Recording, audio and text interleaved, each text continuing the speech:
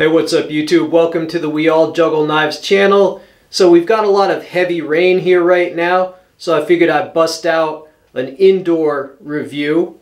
All right, I've got some lighters for you. This is my Soto torch. I've got two of them. I find these extremely useful. Now, I've shown these in a few videos before, but I've never shown you how it works the internals.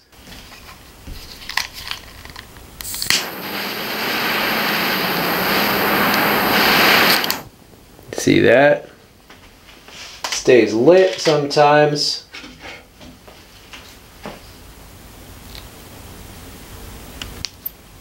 Okay, but what about the fuel? You see this one, this one's almost empty. In fact, it is empty. All right, so that one's empty. You pull this top off, it just pulls off like that. And what is in here? Hold on. Oh, it's a little, there we go. There's a little lighter in here. That's your fuel source, little lighter. Now this use these uh, use Scripto lighters. Uh, for example, I got this on Amazon. Uh, I've used a bunch of them. Yeah, I'll include a link to this and a link to this, of course. All right, so let's just replace, let's replace the fuel. I'll show you how that goes. All right, so that lighter, it just fits into the head like this, right? And then that fits into it like this, right? Hold on.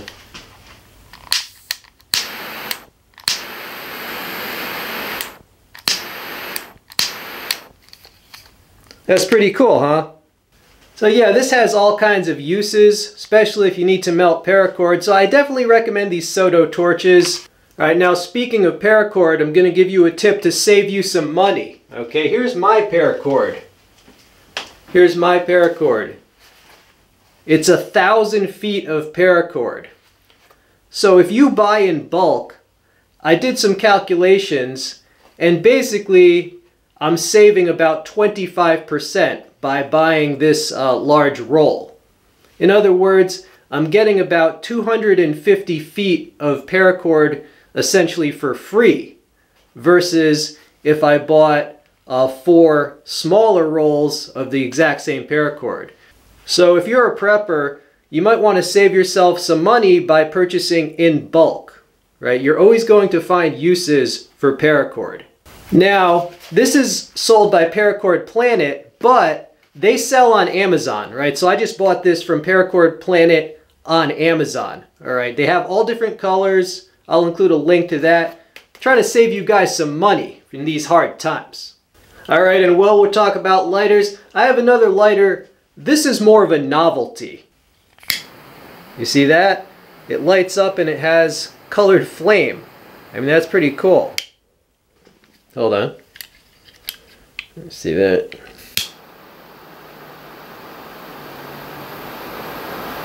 By law, they cannot they cannot ship this full of fuel.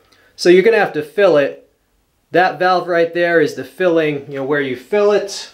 You're gonna need you can buy this at like hardware stores, home improvement stores.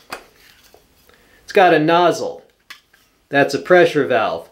And it comes with instructions. So if you're not sure how to do that, just read the instructions. But basically, you're going to need some butane and then you can make this work. All right, but this has one more trick up its sleeve. Hold on, check this out.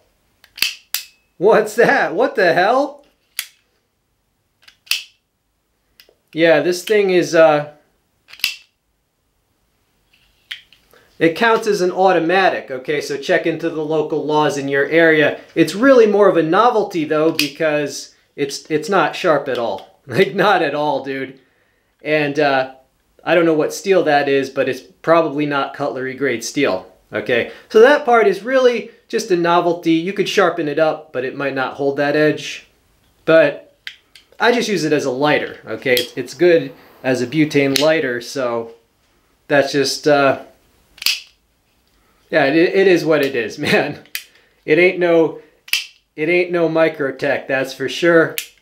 All right, and while I'm here, one more thing. Speaking of autos, the heck is this?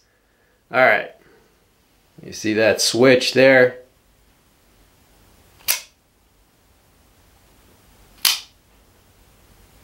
Eh?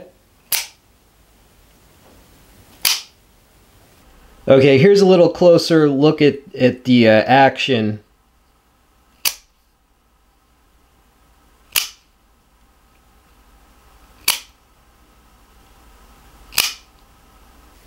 It's a double action OTF, but this one is very cheap. These are very cheap. I have to say, this thing has already broken like five times. So it's a cool little thing, but it's certainly it's gonna break, okay? Uh, I have repaired it five times. The thing about these, when you take them apart, there's a lot of small springs, like tiny little springs. And if you lose one of those springs, which is very easy to do, then forget it. You're not, it's not gonna work without the tiny little springs. I had to look up the blueprints on the internet and take it apart and repair it. But yeah, it's a cool novelty, but I have to warn you, if you buy one of these cheapos, it, it's gonna break eventually, right? But it's still pretty cool. Alright YouTube, so I hope you enjoyed this video. As I said, having some, some rough and rainy weather today, but I figured I'd bust out a quick video, show you some useful items, connect with my audience. I hope you're all staying happy and healthy. This has been We All Juggle Knives. I'm out.